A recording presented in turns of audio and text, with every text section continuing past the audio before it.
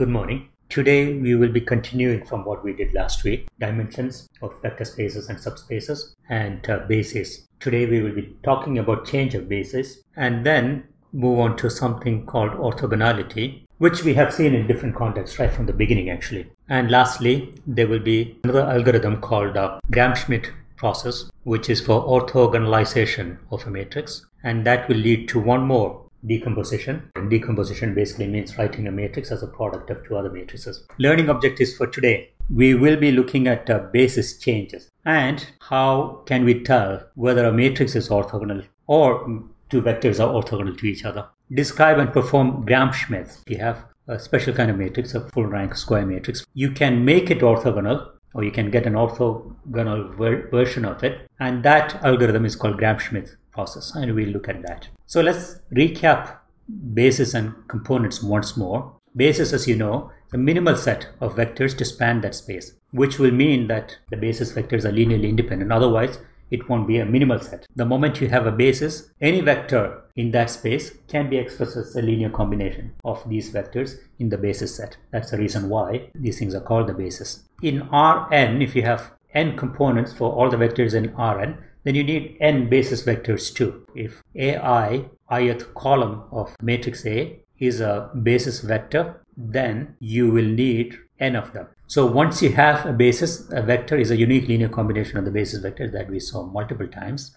Then let me introduce a new notation here. For any vector in Rn, suppose you have a basis of ai, which are columns of a matrix A, then you can write any vector in Rn as a linear combination of these columns, which means any vector x in Rn can be written as a linear combination of the columns of the matrix A, Ai. Those components, those uh, scaling factors are actually the components of the vector x in the basis of Ai. That's the definition of the components. If you can write a vector as the linear combination of a bunch of other vectors, and if the other vectors are actually a basis, then the scaling factors of the, the basis vectors, and that is called the component. The coefficients that specify the linear combination are the components of the vector in that basis. And that is this little notation that says xi bar a, the component, the ith component of x in the basis a. Now, as you know, a linear combination is unique, which means the components of the vector are unique also. Which means if you have a vector in any space and you have you have specified the basis, a vector can be written only in one way, one unique linear combination. There are in multiple ways of writing the same vector. But what will happen is that when you change the basis from one set to another set, you will get different components. That is something that we will see very soon. The best possible basis set that you can have is the identity matrix. So that is the second thing. If you have any vector at all, the moment I specify a vector, I'm already giving you the component. For instance, I specified a vector B here this is my vector b and that already comes with a set of components what are those components what basis do those components refer to that is a fair question to ask it, the answer is that they are based on the identity matrix so i'll tell you why suppose i have a vector in r2 and I have two components, 2 and 3. How can I even say that 2 and 3 are the components? Where do I get the numbers 2 and 3 from? What I'm saying is that it actually comes from the identity matrix because Ix, in other words, multiplication with the identity matrix doesn't change the vector. So identity matrix in R2 by 2 is 1001 and multiply that with my original vector x, I should get the original vector back. But we can also look at this multiplication here as a linear combination of the columns of the identity matrix. First column 1 0 second column 0 1 that is the column picture of matrix multiplication. So it is 2 of the the first column plus 3 of the second column. That's what it says. Now, if you look at this guy, 1, 0, that is a vector. That is a unit vector and it's got unit length because the component that it has is 1 and the other component is 0. So the norm is uh, 1. The second one also, the norm is 1. And more than that, if they take the dot product of those guys, is 1 times 0 plus 0 times 1, that is 0. So they are orthogonal to each other and they have unit length. So that's the best possible basis that you can have. We will call this guy say q1 and the second one q2. Those are the unit vectors, normalized and orthogonal vectors. And in physics, they are actually called i and j. Once you have this one here, 2 times uh, q1 plus 3 times q2, that is a linear combination of q1 and q2. And that gives you the original vector 2, 3. And if you want, you can specify that that vector is in the basis i in uh, 2 by 2. That is what the subscript means. So 2, 3, the components that I have for this vector actually come from the identity matrix and you can explicitly state it by putting that subscript i if you want. But nobody does that. So it's a perfect basis. It's the best possible basis that you can have because the columns are unit vectors orthogonal to each other. They're orthonormal. So we can write that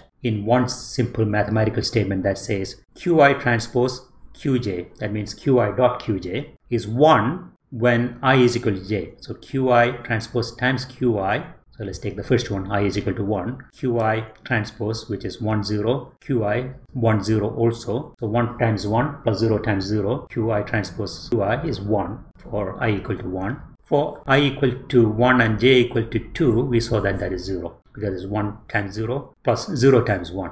And even if you have more number, it's going to be the same idea. So that is the orthogonality and normality conditions in just one statement. So these vectors are actually more than orthogonal, they are orthonormal. They are orthogonal to each other and they are also normalized. So the right word to use is orthonormal. There's one interesting fact that the dimension of the space is the number of uh, basis vectors, which is also the same as the trace of the matrix. Trace is uh, basically just a sum of the diagonal elements. This trace of the identity matrix, which is the basis of that space, will actually be the dimension because each column has just one 1 in the diagonal element. So just add up, you'll get the number of uh, columns or number of rows, same thing. And that is the dimension. People like to use the concept of trace because it's got interesting properties. Whenever they see trace anywhere, they get excited and they use it. Okay, so that is a uh, one very good uh, basis set that we saw. And that basis set was actually orthonormal. But it's not just the identity matrix that is uh, orthonormal. You can have other matrices also if you have the same property, if you have any two of them multiplying, uh, first one transpose, the second one is 1 when the numbers are the same, the indices are the same, and if they are 0 when the indices are different, then they are orthonormal. Orthogonality, orthonormality implies some interesting properties. It basically means that taking the inverse is just transposing the matrix q1, q2, qn standing in uh, columns that is my q matrix, my q transpose in rows. And if I take the product, let's take the product q transpose q, suppose I write this as a in element form ij, that is the element, that's not a vector. qij is actually, as an element, is actually qi transpose as a vector and qj. That comes from the, the dot product version of a matrix multiplication, but that is actually true. Is the ith row of the first matrix dotted with the jth column of the second matrix. And we know that this is equal to 1 is equal to 1 if uh, i is equal to j and equal to 0 when i is not equal to j. So that means it's an identity matrix. And that is true only if this is equal to 1. If it is just orthogonal and not orthonormal, then the dot product will not be equal to 1 when the indices are the same because the norm is not uh, not 1 okay so that's why this applies only to orthonormal not orthogonal. But like i said people use orthogonal to mean orthonormal. So when they say orthogonal most of the time they actually mean orthonormal. People use orthogonal to mean orthonormal. So you will see the statement the test for orthogonality of a matrix is this and i might also use it even though i am a bit of an ocd guy and I like to use orthonormal, but I might slip into using orthogonal now and then because it is very widely used. So that's why Q, Q transpose or Q transpose Q is I, and that gives you test for orthonormality. Okay. An orthonormal matrix preserves the norm. That is the second statement. So that also you can see what's the norm of uh, Q times X. So basically Q is a matrix and X is a vector. So Q times X is a vector and Q is a is a square matrix n by n n is the same as the number of elements of x. So it's kind of transforming the vector into a different vector in the same space. So it's giving you it's taking x and giving you another vector in the same space. And the norm of that vector is the same as the original vector. That is what i'm saying here. So let's see why. The norm of qx is the same as norm of x. That's what we need to prove. So norm of uh, qx is the dot product of qx with itself. So that is uh, qx transpose qx. And you can apply the the product rule of uh, transposes. So this guy becomes the in becomes the product of the transposes, but in the opposite uh, order, reverse order. So X transpose, Q, Q transpose, and then the other side you have Q and uh, X, and you can think of Q transpose Q, which is equal to I from here. So you put I there, then that becomes X transpose X, which is a square of uh, the norm of x. So the square of uh, qx norm is the same as the square of norm x. And as you know, norm is a positive, is the length, is a positive number. So you worry only about the positive square root. So you can say that uh, the norm of uh, qx is the same as the norm of x. Then the other thing is orthonormal matrices all have unit determinants. By unit I mean plus or minus 1.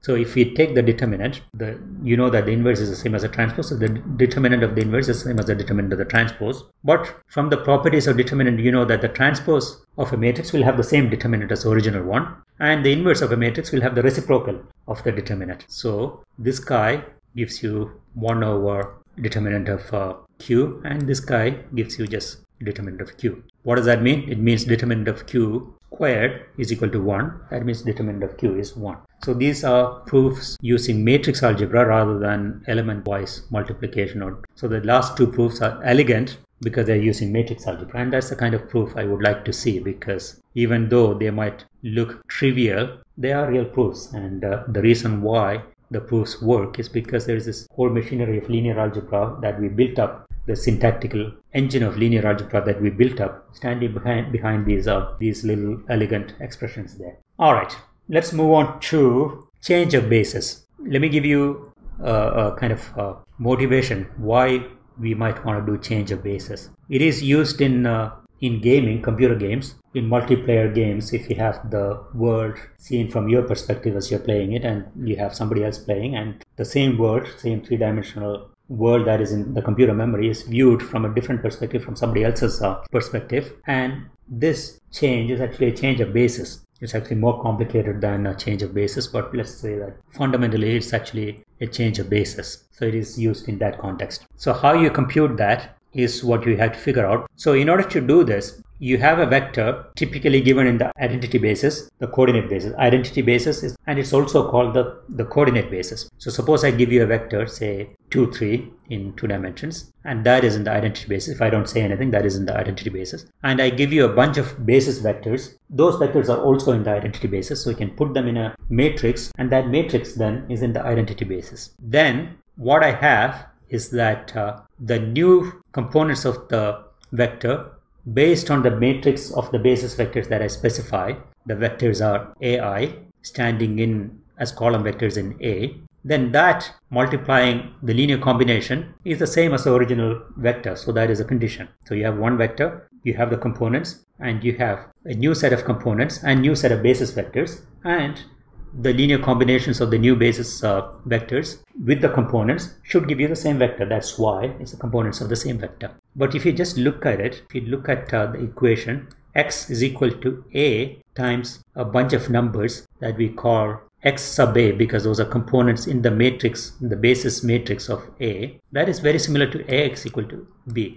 In fact, it's identical. This is a, this is x, and that is b. So it's a, x sub a is equal to x and all you have to do to get x sub a, the components in the new basis, it's just a inverse times x. Since a is a basis matrix, it's a full rank invertible matrix in the case of uh, vector spaces. Basis for vector spaces is a full rank and invertible matrix. So I can always take the inverse and just multiply. So it's actually a fairly simple thing to do. In fact, it's the same as solving the set of linear equations. a x sub a is equal to x is a bunch of linear equations because I know x as numbers I know A as a table of numbers and X sub A, those are the only unknowns. So I just solve the set of equations. One way of solving is just multiplying by the inverse on both sides. Okay, anyway, we'll do a couple of examples, then it'll become even clearer. So what I want to do is to say that Qx norm is equal to the norm of x. This is what I want to do, right? So instead of doing the norm, I can try proving that it's a square of the norm that is uh, the same. And what's the definition of uh, the norm squares? y transpose y is the, the square of the norm of y. So I can use that on the left hand side and right hand side. Then I can write q x transpose q x that is the left hand side is equal to x transpose x on the right hand side and this is a product transposed and then I can use the product rule for transposes that basically says it's the product of transposes but in the reverse order. Q x is equal to x transpose x. Now this guy is I, so that just drops off. Then on the left hand side I have x transpose x. And the right hand side also is x transpose x, so this is actually true. Okay, so basis change is basically the same as solving a system of linear equations. And um, a myriad of ways in which you can do that. One of them is just multiplying by the inverse, which is what we will use in the example, but you can do this using Gaussian elimination or Gauss-Jordan elimination. So change of basis, let's take an example. In the coordinate basis, I have a vector, the green vector x, that reads 7, 5. So that means my unit vectors q1 is 1, 0 and q2 is uh, 0, 1, the column vectors of uh, the identity matrix and I need to take 7 of q1 to reach here then you add 5 of q2 to reach here. And that those are my components. So it's uh, basically just says x is 7 times q1 plus 5 times q2 so the components of x in the basis identity basis or the coordinate basis same thing is 7 5 that's what we started from. Now suppose i change the basis to a different set of vectors a1 prime and a2 prime. I have 3.5 and 2.5. What do you think the components of x are in this basis? How many a1 prime do I need to get to the tip of x? And how many a2 prime do I need to get to the tip of x? It's 2 and 2. So it's basically 2 times a1 prime plus 2 times a2 prime, which means in that basis, the prime basis, a prime basis, the components now are 2 and 2. Now let's take a complicated one. This was easy because uh, a1 prime was a scale version of a1 and a2 prime was a scale version of q2, scale versions of the unit vectors. Now a1 double prime is 2, 1, a2 double prime is 1, 1. So some vectors, so it's a1 double prime is a 2, 2, a2 double prime is a 1, 1. So these are the vectors here. And I have to express x as a linear combination of these two, which is possible because clearly a1 double prime is not uh, not linearly dependent on a2 double prime. How do I know that these two vectors, the double prime vectors, are not linearly dependent on each other. They're not collinear. They're not on top of each other.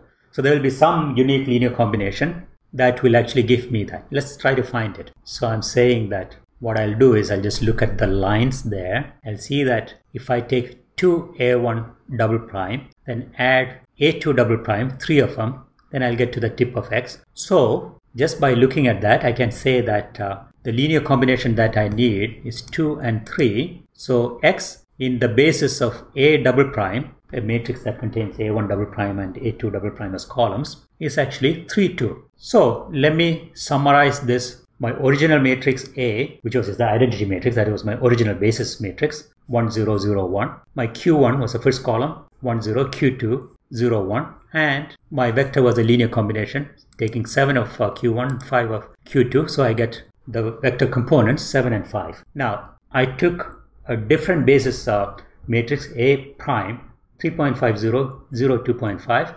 Then we saw that you need a 2 of A, A1 prime and a 2 of A2 prime. So the components are 2 and 2. And the third case, I had a more complicated, not orthogonal this time.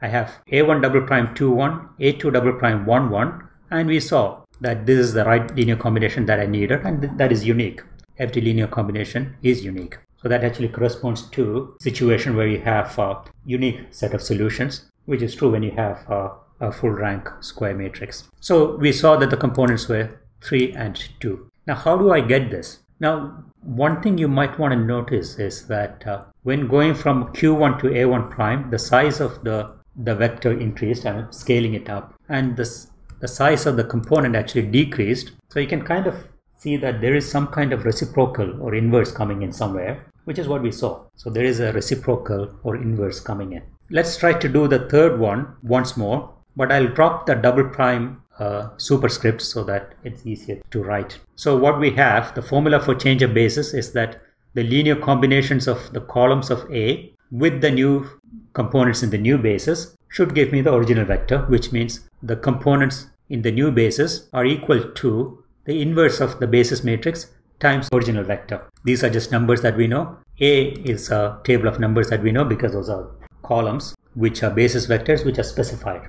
So those are numbers also we know and then we can compute this and x sub a components of x in the basis of a those are the only unknowns we can solve. x is specified in the in the coordinate basis 7 5 you don't even have to say i and the basis matrix A also is specified in the identity basis because 2 1 the first basis vector was in the identity basis. Second one also is in the identity basis. Now my statement was that the new set of components will come from the inverse times. So I just have to find the inverse of this guy and multiply this on the right. That's all I need to do. So how do I find the the inverse? What's the inverse of a 2 by 2 matrix? Swap diagonals. So in the place of 2 I get the other one 1 so 2 and 1 they just get swapped. And off diagonals I just uh, switch the sign and then I have to divide by the determinant of A. Happily for us, what's the determinant of A? It is 2 times 1 minus 1 times 1, so it is 1. That has the inverse. And the new basis is just the inverse times the original uh, components. And if you do the multiplication, I get 7 times 1 minus, uh, 1 times 5, that is 2, minus 7 plus 10, that is 3. So you get the components, which is what we started from. Okay, now what I have are two linearly independent vectors in R3 their span is a is a 2D subspace. It's a plane going through the origin in three dimensions in R3. So the vectors that I start from A1, the first two components are the same as what we had, but I added a new purple component 1 just for the heck of it. And A2 is a 1, 1, 0. So these are two vectors in R3. They will span a subspace and that is going to be a two-dimensional subspace. It's going to be a plane. So if I arrange them in a matrix A, I have 2, 1, 1, 2, 1, 1 and 1, 1, 0. So this is the basis matrix. It's not a square matrix now because I have only two basis vectors because my subspace has dimension 2 in R3. Now I'm constructing a new vector x by taking 2 of A1 and 3 of A2. So I know that the components will have to be 2 and 3. I'm actually doing this by construction. So three, 2 times A1 and 3 times A2. So if I do that, 2 times a1 4 2 2 and 3 times a2 3 3 so 4 plus 3 7 2 plus 3 5 and 2 plus 0 2 so those are the components. That's my vector x. Now what are my components in the basis for the subspace? To begin with how, how many components will be there? I have only two basis vectors because it's a subspace and I have to scale. I have to find the right linear combination of these two vectors. So there are only two scalar multiples to that. So there are only two, two uh, components. So even though my vector that I'm starting from is a three component vector, the components in the new basis are going to be only two of them in number. So that is something that you have to understand. That is because the subspace is defined by two basis vectors, not three. So I'll get only two components. That's enough. So if I take two of the first vector and three of the second vector, I uniquely get my x, the original vector, and that's all I need. So that is an important point to remember. Even though the x that you're starting from has three components.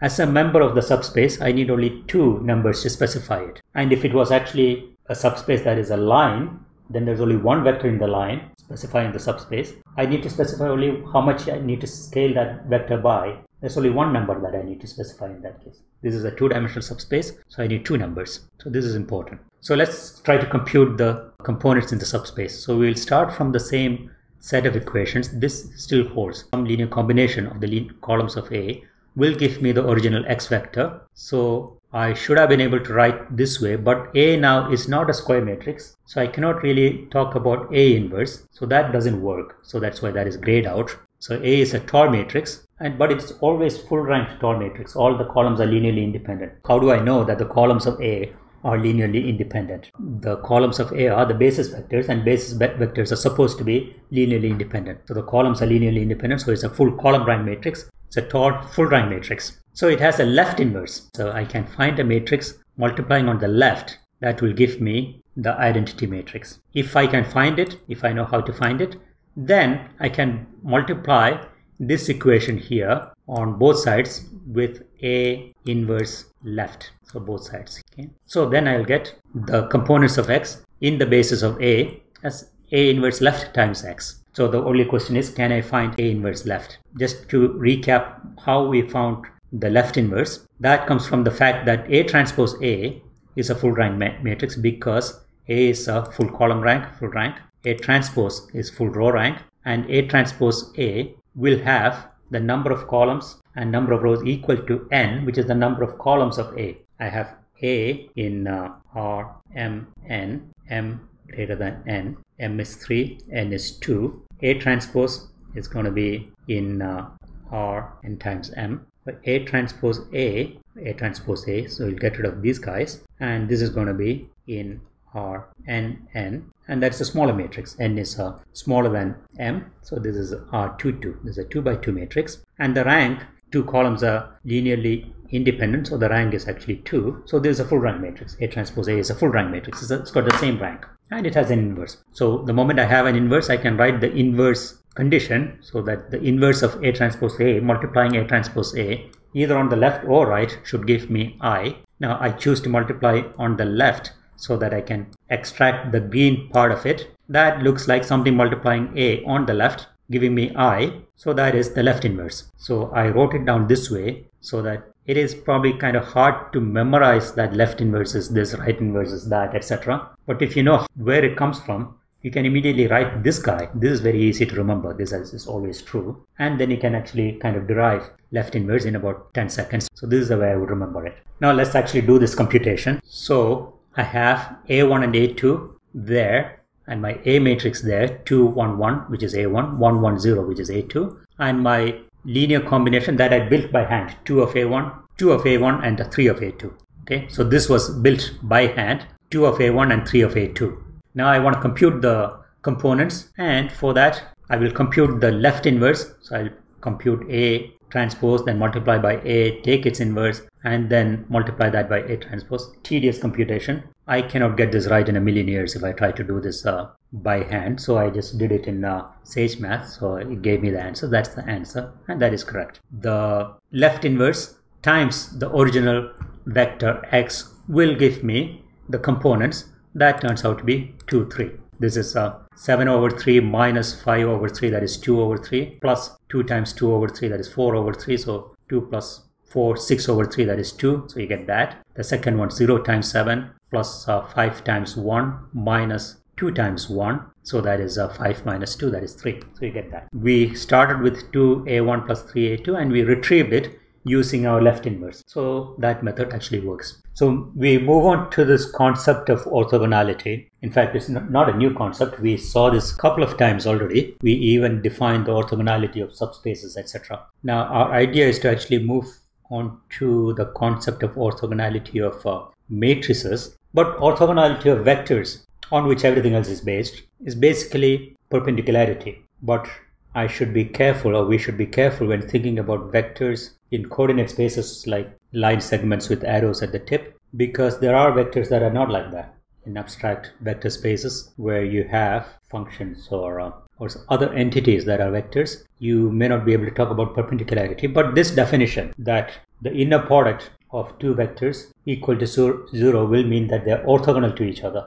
We will use the term orthogonal rather than perpendicular because there may be strange vectors for which perpendicularity doesn't make any sense. So there are different consequences to that. The first one is, of course, that the inner product or the dot product is zero. And the second one is that the projection of one vector onto the other is zero if they are orthogonal to each other. For our purposes, let's think of them as perpendicular vectors. And uh, but everything that we say here will apply to other kinds of vectors too. So the projection of one vector to another is zero. And orthogonal is basically the opposite of uh, scale vectors or collinear vectors or even parallel vectors. Parallel means in the normal sense, the angle between two things is zero and uh, orthogonal means the angle between the two things is uh, pi over 2. Alright, so let's also define a norm. This we again is something that we already did. A norm is defined as the square root of uh, the sum of the squares of the components of the vector. So if it's got m components,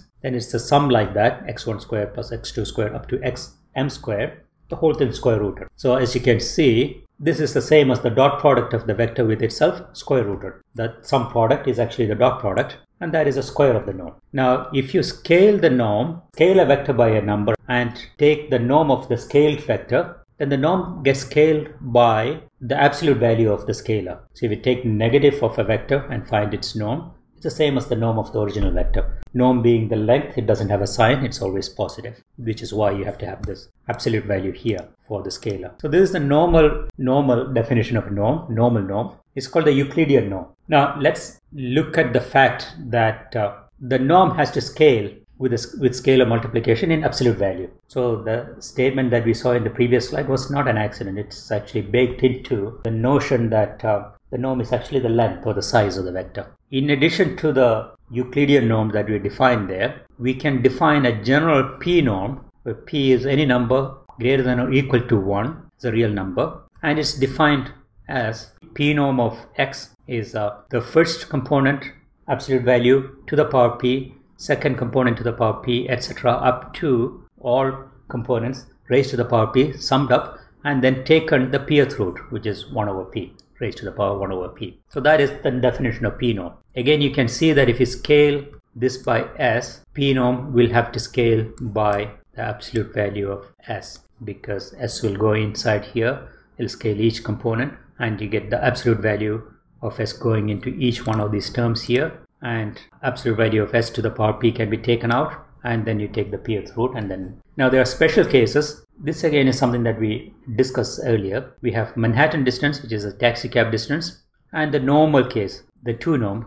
p equal to 2 that is a euclidean distance or euclidean norm. So in this current example and in this course in general we will be working with uh, the 2 norm euclidean norm and a large number of machine learning algorithms or pattern recognition or pattern detection algorithms like k-means clustering for instance uses the Euclidean distance by default. But they can use other distances too and there have been uh, some studies where I saw that Euclidean, Euclidean distance has a problem with its sensitivity to outliers because it comes in as a square of the distance and the square gets very big when you have an outlier. For that reason, some people prefer to use uh, one norm and that turns out to be more robust against outliers. So there have been studies like that. Okay, so this is all, all there in computer science. So even though Euclidean distance is the normal natural distance that we think of, there are other distances also that are possible that you might be able to use in, uh, in uh, data science applications. Now, test for orthogonality if it is two vectors.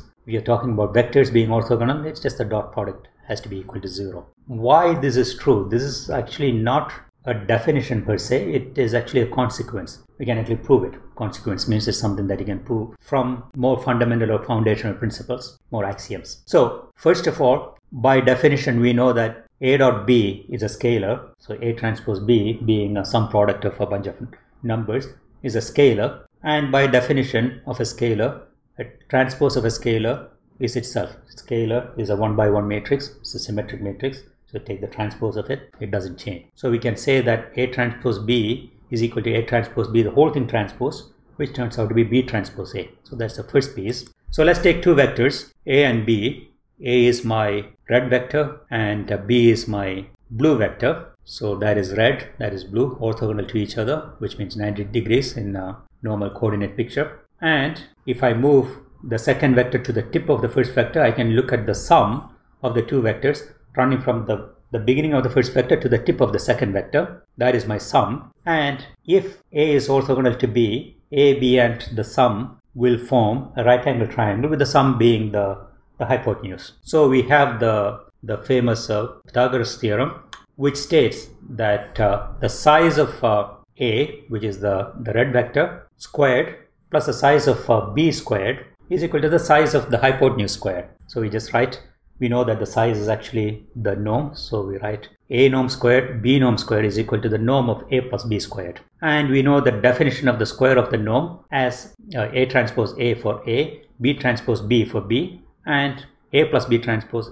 a plus b for a plus b the norm square. So you can write that way. And then by the property that uh, the transpose of a sum is a sum of transposes. We can write the last statement here. Now this is a product which you can expand, making sure that we don't shuffle the uh, the order because it's not commutative. In any case, we can take this side, multiply by A, A transpose A, B transpose A as the second term, then B, A transpose B, A transpose B, then B transpose B. So I get the four terms there by just distributing the multiplication and taking making sure that the order remains the same. And as you can see, the red ones, this guy and this guy are the same and the blue ones, they appear on the left hand side and the right hand side. So they get cancelled off. And what you get is that A transpose B plus B transpose A is equal to zero. But we proved by the product rule up here that A transpose B is the same as B transpose A. So each of them will have to be 0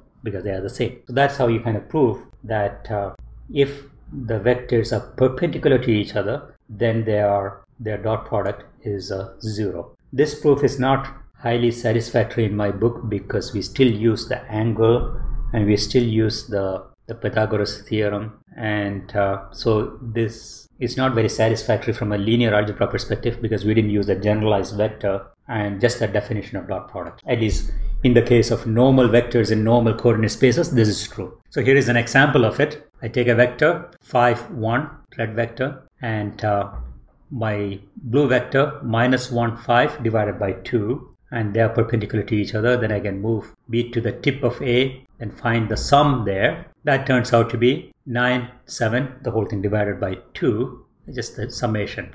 10 minus 1, 2 plus 5, so 9 and 7, and the half that is outside scaling both. I use the scalar because I wanted to keep everything within this picture. Okay, so if you look at the norm of uh, A, that is just uh, 5 square plus 1 square, square rooted, so that is square root of uh, 26. Similarly, the norm of B will be half that much, and A square plus B square turns out to be uh, if you just add those two guys you will get uh, 65 over 2 okay? A square plus b square the norm squares. And similarly if you take a plus b the whole thing squared again you will get 6, 65 by 2 obviously. This is a verification of Pythagoras theorem which you might have done in uh, maybe in kindergarten right? And if you take the dot product which you might have done in uh, primary school which turns out to be 0 so which is uh, minus 1 times 10 plus 5 times 2 so minus 10 plus 10 so that is 0 divided by half times uh, multiplied by half times half so that is zero. Just an example no big deal. Okay are we okay so far? Are we okay with the proof and the example? Okay good.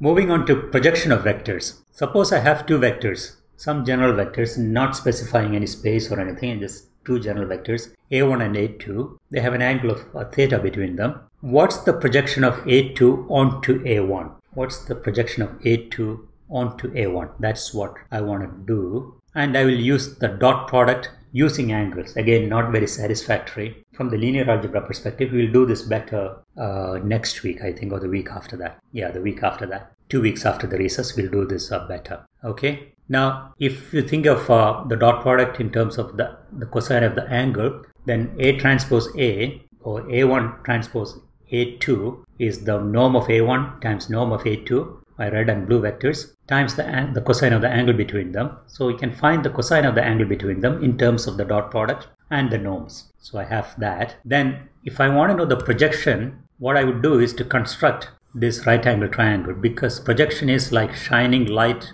onto my vector A2 perpendicular the direction of the light is perpendicular to A1 because I'm projecting onto A1 and I'm looking at the shadow cast by A2 that's what I want to find that is the definition or the mental picture or the projection. So the length of that uh, projection is x. x, as you know from this right angle triangle, this guy is uh, 90 degrees. So the blue one becomes the hypotenuse and adjacent side is x. So hypotenuse times the cosine of uh, the angle between them. That gives you your uh, uh, adjacent side. So you get that. And from what I know as a cosine, I get a1 transpose a2 divided by the norm of a1 because a2 comes in the numerator there. Okay, that is my x.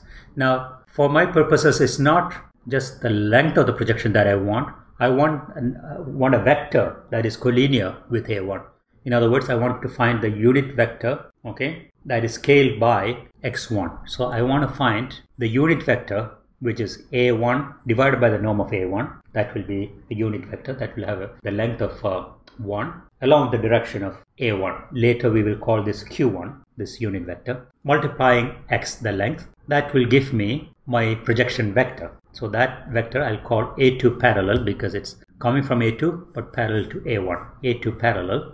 That is, if I just do this, I get a1 divided by norm of a1, a1 transpose a2 divided by the norm of a1 coming from here. And then in the, the denominator I have a1 norm of a1 square which is A1 transpose A1 and the numerator I have A1 trans A1 times A1 transpose. So that is a kind of a nice little symmetry to this one. So A1 A1 transpose divided by A1 transpose A1. So that we have to take a look at. So that red guy, the red fraction there, multiplying any vector A2 will give me the parallel part of that A2 onto A1. So let's actually write it down here in my whiteboard and then look at it uh, in some detail. So what did we have? We have, I'm going to just use A rather than uh, A1 so that it's easier to write down. A, A transpose divided by A transpose A. Okay. That multiplying by multiplying any vector A2 will give me my projection A2 parallel. I wrote this as A2 parallel. A2 parallel. This is what I'll get. So let's just worry about the red part. Let's worry about this this part. Now let's say that we're working in R3 and A is a vector of three dimensions. So A is something like X, Y, Z. That's what I'm working with. So what's A transpose? A transpose is going to be X, Y, Z, but horizontal in a row. If I multiply A transpose A, then you know that you're going to get a scalar. It's the square of the norm of uh, A. But if I multiply A transpose on the right with A, what are you going to get? And what you're going to get is uh, x, y, z, x, y, z. What's the shape of this beast? This is going to be in R what? What's the shape of this guy? R3 would mean that it's a vector. Is it a vector that I'm going to get if I do this multiplication? It's a 3 by 3 matrix. It's going to be a 3 by 3 matrix because this guy is a 3 by 1 and that guy is 1 by 3. So this and this will kind of cancel off and then I'll get a 3 by 3 matrix. That's what I will get. So it's a matrix.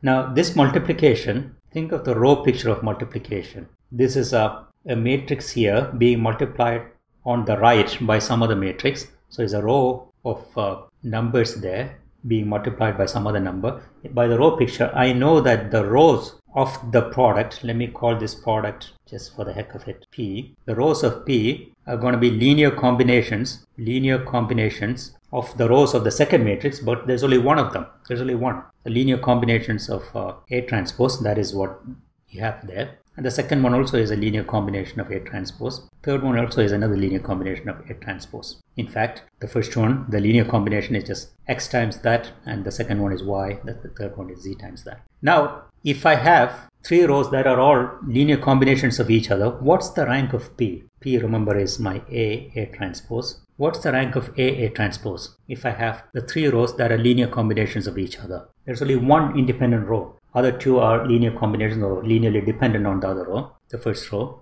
So the rank is only one. So this is a rank one matrix. This is a rank one matrix. Rank one matrix. Obviously, this is not going to be invertible because rank deficient is singular. So all kinds of bad things. But it's a rank one matrix. So it's something to keep in mind. Okay.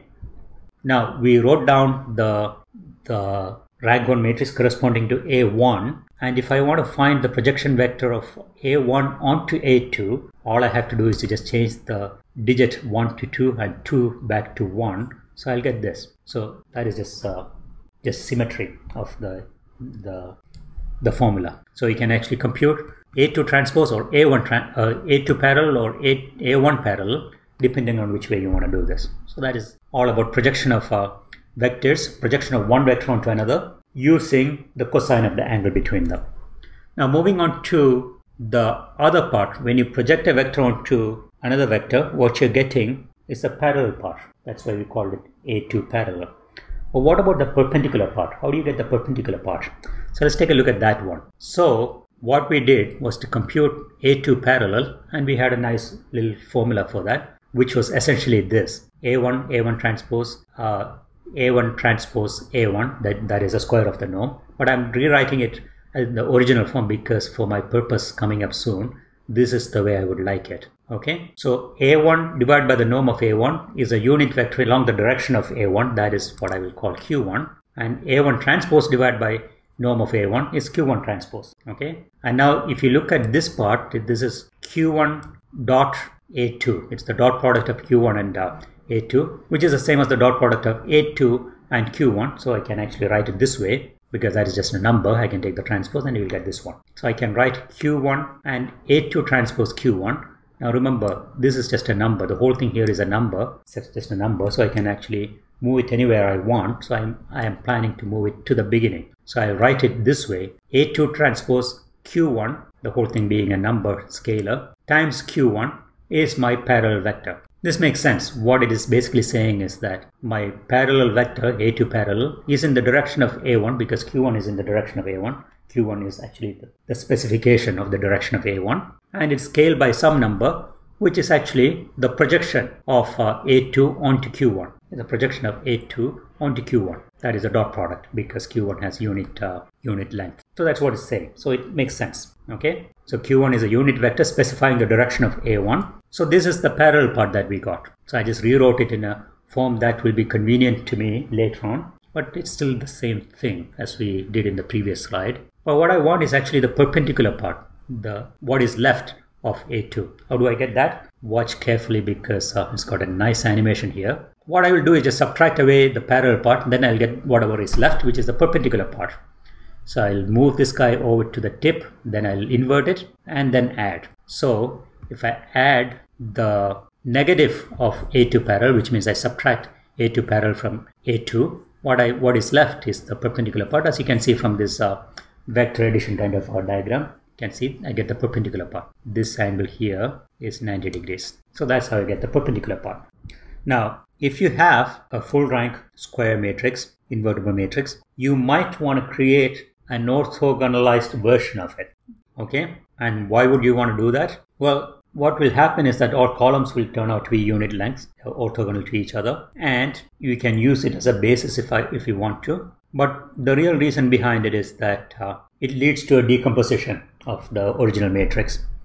So any square invertible matrix matrix can be written as QR, Q being one orthogonal matrix, R being another matrix with some properties, and that becomes the basis of some algorithms. So that is the real reason, but you might find mathematical reasons. Another thing about the orthogonal version of it, any Q, we saw that it preserves the uh, the, the norm of a vector. So if you are using that in a computer science kind of uh, application, a program, suppose you have some vector x and you're multiplying it by q, say let's say is vector x0, this gives you x1 and then you multiply by q again to get x2. This kind of iterative uh, thing might come up in computer computer science in programs.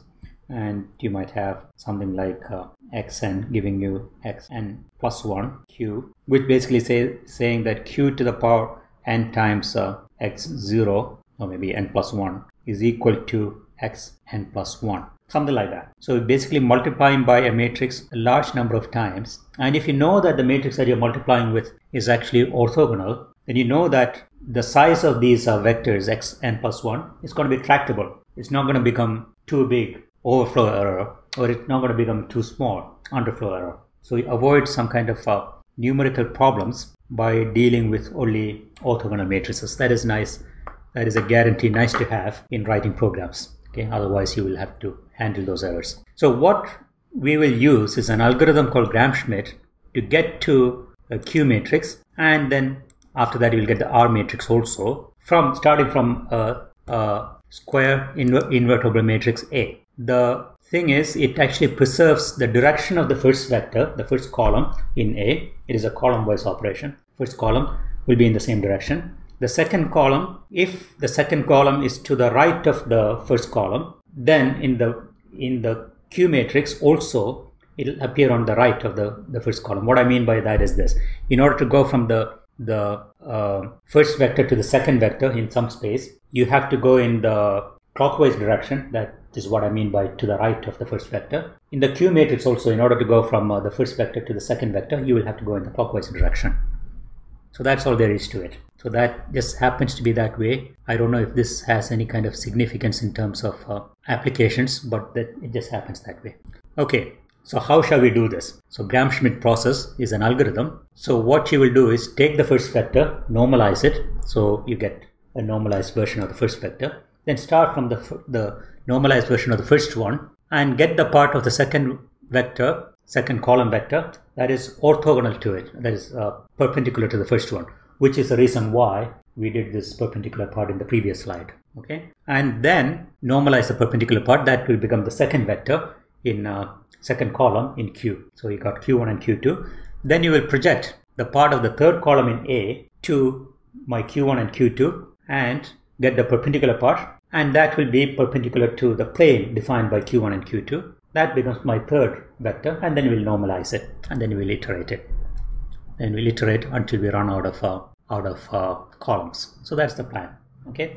So let's see how this is done using my fancy animation again. Okay. So I have a matrix with A1, A2, A3 up to AN in it and uh, n vectors. Just think of the first three of them in uh, multicolor here. A1 in red, A2 in uh, in blue. And so I'm working in the plane of A1 and A2. So in other words, I have rotated my my slide in such a way that it's actually lying on the plane of A1 and A2. But A3 is in some other direction. It has to be. It cannot be in the same plane as A1 and A2. Can somebody tell me why is it that A, A3 cannot be in the same plane as A1 and A2? Anybody? Because they are they are meant to be linearly independent. This matrix is supposed to be invertible, so the columns are linearly independent. It's a full rank matrix. If they are on the same plane, then it will mean that A3 is a linear combination of A1 and A2, which is not allowed. Okay, so A3 is maybe it is sticking out of this plane towards me, towards my nose. So that's the picture, picture you have to keep it keep keep in mind. So the first step is to normalize A1 as uh, some normal some unit vector Q1 in some direction, but in the direction of A1.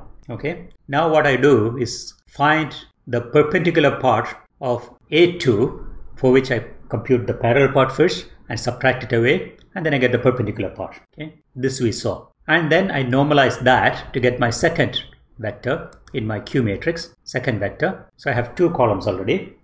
Then I use those two columns, project A3 onto these two and add them up. What I will get is the projection of uh, A3 onto the plane of Q1 and Q2. I'm shining light kind of perpendicular to the slide and I'm getting the, the shadow of uh, A3 onto the plane of uh, Q1 and Q2. And then I subtract that away from uh, A3, then I'll get the perpendicular part. Then I go and normalize that. So I get the third vector. So I get Q1, Q2 and Q3. Then I keep iterating the same procedure until I get up to Qn or, or my vectors. This, this is Gram-Schmidt process. That's it. Okay, it's an iterative process. Quite nicely done. Okay, so I got, I started from A, I got Q. I can guarantee that it is uh, orthonormal because by construction, I took, I made sure that each, uh, each column is orthogonal to all of the columns. And I also made sure that each column is uh, normalized. So it is orthonormal. And if you think about it, what we did was take the first column and normalize it. So it's a column operation that we performed. Remember, for row operations that we performed in uh, elementary row operations in uh, Gaussian elimination, we had to multiply on the right by an elementary matrix because you're working with rows. There's a row picture of a matrix multiplication. Here it becomes the column operation, so it's a column picture. The first step of A is to make A1 a unit vector. So I'm dividing by the norm of uh, A1. So I take some product on the left. So it's a linear combination of columns of A in such a way that the first column gets scaled down by by the norm of that column. So the first element of x is going to be 1 over norm of a1 a1 okay? So i take the first column of a and scale it by that one and i take none of uh, the rest of the columns. So all other columns are going to be zero. So that's the only thing i'm doing okay? For the first column of column of q. So a is going to q a is going to q. So first operation is that. When it comes to the the second column what i'm doing is taking the first one so there's some operation i'm going to do with the first one and then taking some part of the second one and subtracting away from the first one so i'll have some element here let me call it uh, x1 2 and some element here x2 2 but I won't have any anything coming from any other rows, any other columns. I'll mess in with only the first two columns. I'm working with uh, the first column for the first column of Q, uh, first and second column for the second column of Q, and so on.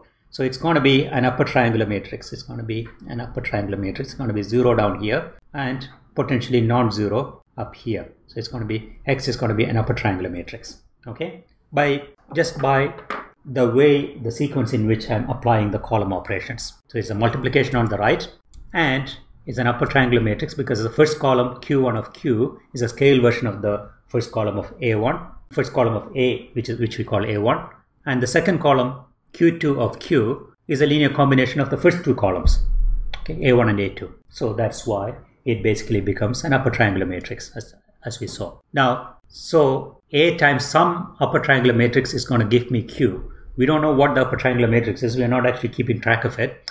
But we have some powerful tool here because we know that uh, Q is actually uh, orthonormal. So I will just write R as a, the inverse of uh, inverse of this matrix that we don't know what this matrix is. That's why it's X. Okay. And then I can say that A is Q times R. A is Q times R. Again, we don't know what R is because we didn't keep track of the operations. We're not planning to keep track of the operations. But it is some matrix multiplying Q on the right hand side. What we know is, is that this inverse of uh, an upper triangular matrix is an upper triangular matrix. That we know. That is an exercise in the chapter actually. You will see the solution very soon, but it, it can be proven. It's tedious to do. You have to go through elements, etc. But uh, it can be proven. It is possible to do that. Okay. So I'm going to write A is equal to QR. Then I go back and say that R is actually equal to Q inverse times A. A is equal to QR.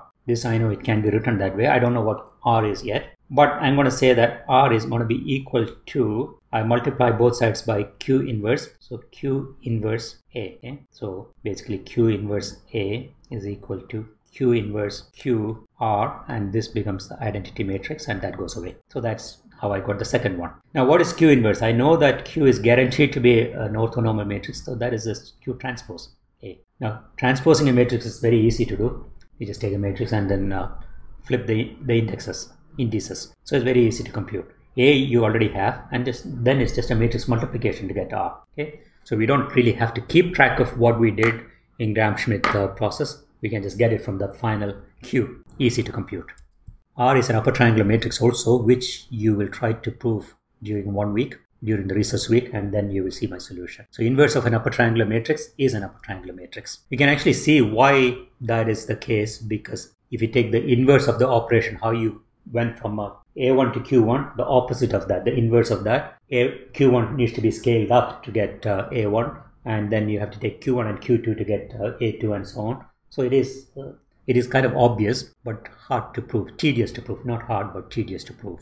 Okay, any questions so far? I haven't shown you why this QR decomposition is important and where it is used, but you will see at some point that this is actually useful. Actually, you will have to wait quite a while before we actually come across an algorithm that uses this. All right, let me assume that there are no questions. So let's move on to what orthogonal matrices can do. One of the things that it can do is rotation. So orthogonal matrices do not change the norm of a vector. So the vector norm stays the same. So one thing it can do is probably reflect a vector. You take a vector and multiply by minus 1. This goes in the opposite direction. The norm, the size is still the same. Or maybe rotate it through some angle. That also is possible or it can do something even naughtier like shuffle the components remember we had the the permutation matrices and if you remember single row permutations they had the determinant equal to minus 1 and the transpose of the matrix which was actually the inverse the inverse had to be the same because permuting two rows twice you will get the original one back so the inverse was the same matrix as itself and the matrix was actually symmetric. Permutation matrices of single row exchanges was actually symmetric. That's why Q transpose is actually equal to Q inverse in that case. Okay, so all those things actually work out nicely. Permutation matrices are orthogonal matrices. So rotation matrices are an interesting class of matrices, especially from the perspective of uh, physical sciences. Uh, it's actually very, very interesting for uh, for a physicist. Let me tell you why. I know that this is actually going slightly outside your uh, remit of uh, computer science, but since I like it, so I'm going to just tell you what it is. Okay, if you take a take a point in space and uh, in three-dimensional normal space and rotate the the spatial axis, which is the same as rotating the matrix, uh, rotating the vector, the size of the vector doesn't change. Or if you take the distance between two points, the distance doesn't change. The distance is an invariant in uh, rotation because each the norm of the the norms of the vectors going to the the endpoints of the the two uh, two points between which you're computing the distance is uh, is invariant. The norms are invariant, so the, the distance also is invariant, which is an interesting property, which is a property that is used in uh, in a lot of uh, uh, physics. So that is a normal three-dimensional space that we live in. it turns out that the space that we live in is not actually three dimensional, it's actually four dimensional, which is what Einstein told us. And the fourth dimension is actually time. So there is a four, four dimensional space called the Minkowski space, and there is a linear algebra there. There is a there is a rotation there. There's a rotation in four dimensional space, and there is something that stays invariant there also, and that invariance is called the Lorentz invariance, and uh, that is actually the space-time distance between two events, not two points, but two two spatial points, but two events, two space, spatial and uh, temporal points, and that stays uh, constant, and that constancy is the one that brings about all the weirdness of uh, of uh, special relativity, like uh, like time dilation, and twin paradox, and space contraction. All those things come about because of this Lorentz invariance. And the point is, it is, it is a rotation. It's actually an orthogonal matrix that does the rotation. And because there is this whole machinery of linear algebra standing behind that formulation of uh, special relativity, it is impossible to find a mathematical inconsistency in relativity once you once you assume that it is linear. And that is why all these uh, thousands of scientists who did not like time dilation, etc., tried to prove that uh, it is not true. They can't try to come up with experiments. None of them work because it is linear algebra that is actually proving that nothing can work because linear algebra is true. It is mathematics, and for that reason, these rotation matrices are quite nice and uh, quite interesting for physicists. The reason, uh, by the way, I also believe that special relativity needs to be revised, and the reason is not because of the mathematics, but because of the assumption that it is linear, the space time geometry is linear, that is a problem. That I believe is not true, which is actually the basis of the book that you will get as, uh, as a, the first prize of the quiz if you are actually into that kind of stuff. Okay? Maybe you are getting a bit more than you asked for, but hey, that's what it is. All right, coming back to a simpler situation in, in a plane, in a normal R2 plane, you have only x and y. In order to specify an angle, in order to specify a rotation, you need only one angle. You don't need anything more than one angle. So that rotation matrix, you can maybe call it a q sub theta, theta being the angle through which it rotates. So only one angle needed in a R2. That is a, uh, that is true and it's kind of interesting. And the inverse of that matrix is going to be, inverse of that rotation matrix is going to be the same matrix where you replace theta by minus theta because whichever one you, uh, whichever way you rotated the first time, you want to do, undo it. So rotate in the opposite direction and it should actually give you the the opposite uh, operation which means it's the inverse of the matrix. So we will see that in a second. In r3 i still forgot to change this. This is r3 not r2 in r3 in r3 you actually need let me write this in chinese which is easier to write on my computer. In r3 something like that okay? You need three angles to to specify a rotation. Because if you think of a plane going uh, flying in three-dimensional space. You have uh, what is it called? It's called the pitch, and uh, going from side to side is called the roll, and going from uh, in the horizontal plane turning this way that is called the yaw. So you need three angles. Those are the three angles you need to specify, and there's a specific order in which you have to specify also. So in R3, rotation is specified by three angles. So just keep in mind. In R4, I don't know what it will be. I think it is actually six angles, but I don't really know.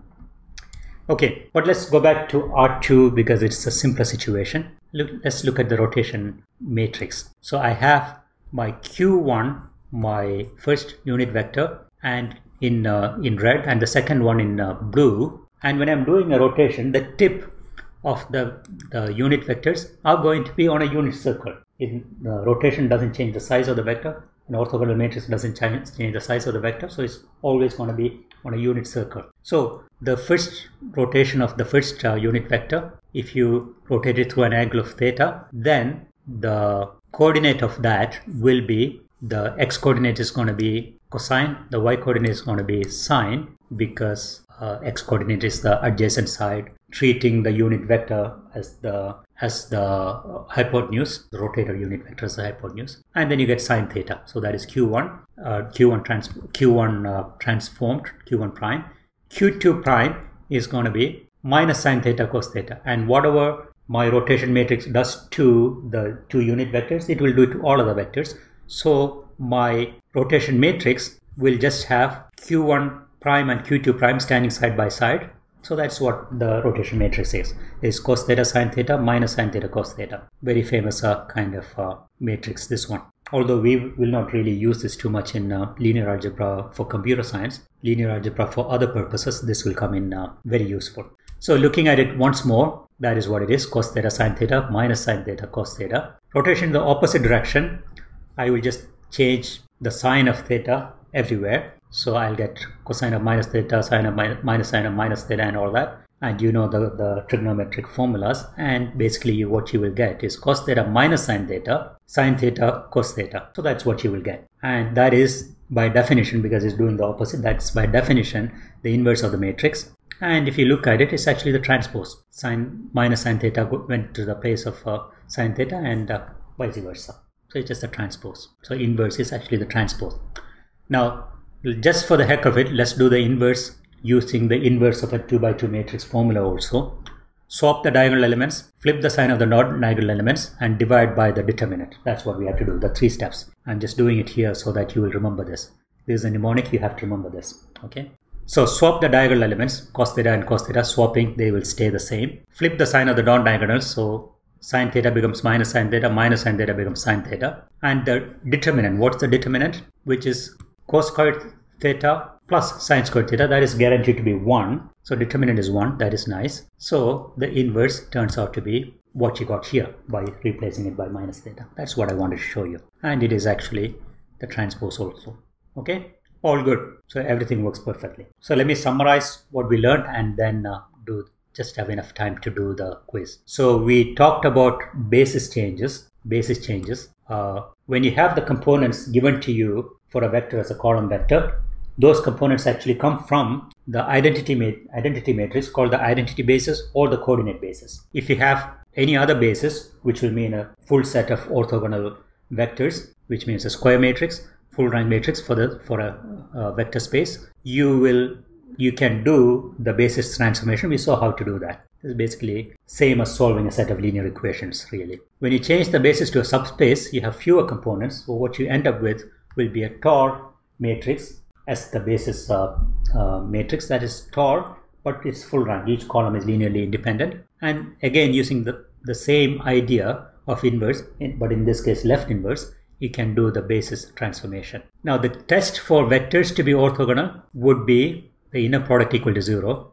Orthogonality, by which I actually mean orthonormality uh, of matrices, inverse is, is equal to transpose. Then we did Gram-Schmidt, is a successive orthogonalization of uh, columns of a matrix. So it's column operations, not elementary row operations, but elementary column operations, resulting in A equal to QR decomposition. R is an upper triangular matrix. Q is an orthogonal matrix, orthonormal matrix. Okay. And then we looked at uh, the rotation matrices just for the heck of it. Not really very useful in computer science, but maybe somewhere. Okay. In R2, you need only one angle, but in R3, you need three angles. In R4, maybe you want to think about it or investigate how many angles you need. My guess is that it's probably going to be 6, but I'm not sure.